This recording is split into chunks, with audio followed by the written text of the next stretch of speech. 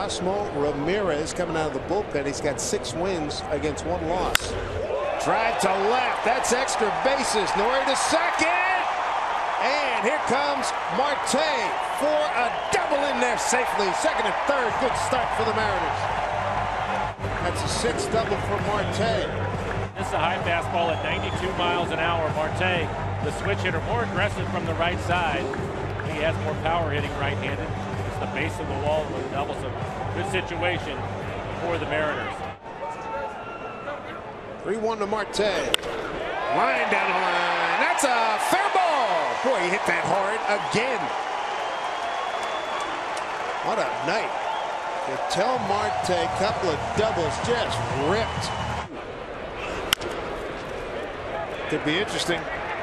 Beckham, safe. Three for three night, Ketel Marte.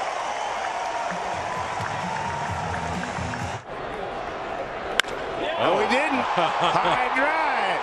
Deep right center field. And he's gone. A three-run jerk by Ketel. Marte have a night, big fella. Four for four.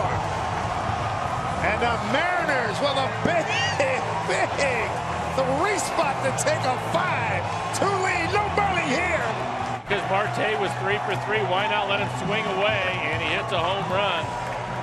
For Marte, his first home run of the year, and for the Mariners, their first base hit with a runner in scoring position.